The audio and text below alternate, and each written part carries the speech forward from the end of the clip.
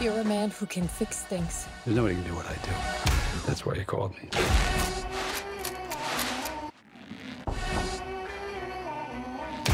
Who are you? I'm here to take care of your problem. I don't need your help. Really? Yeah, really. Oh. Oh. So you didn't have a pulse. And yet. It's Some kind of a setup. You've seen too many movies. There's an art to this you may not realize. What? Nothing.